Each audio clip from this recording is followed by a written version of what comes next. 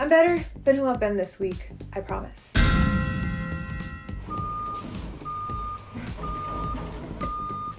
In a season that's all over the place, KD still leads the MVP convo. And since James Harden cleared protocol, both these guys have been dropping 30 pieces any given night. Only way to stop them is to gather around, hold a prayer circle, pray, and maybe Philly can up the defense. Because I don't think they will, I'll take Brooklyn at minus 5 and the over at 218 and a half total points. It's a two day old rematch. Last time these guys met, so, like two days ago, the Nuggets snuck in a victory. But the way the Warriors are set up, are they really gonna lose to the same team twice in one week?